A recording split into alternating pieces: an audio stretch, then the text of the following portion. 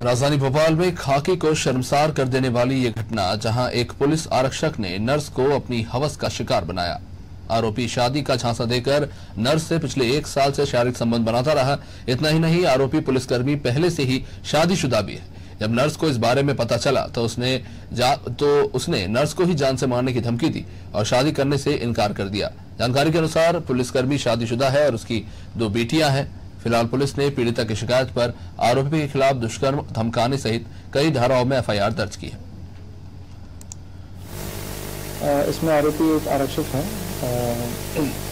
Complaint ये था जो कंप्लेनेंट है उसका कि काफ़ी समय से ये उससे परिचित था और उनके बीच में रिलेशनशिप रहा है और उसके दौरान उसने छुपाया था कि वो शादीशुदा है, उसके बच्चे हैं और शादी का झांसा देकर उसके साथ रिलेशनशिप इस्टेब्लिश करता रहा।